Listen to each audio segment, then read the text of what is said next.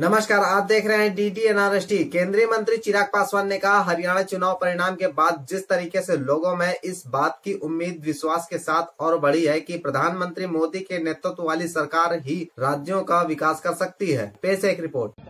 हरियाणा चुनाव परिणामों के बाद जिस तरीके से आ, लोगों में इस बात की उम्मीद विश्वास के साथ और बढ़ी है कि प्रधानमंत्री जी के नेतृत्व उनके सोच वाली सरकार ही राज्यों का विकास कर सकती है।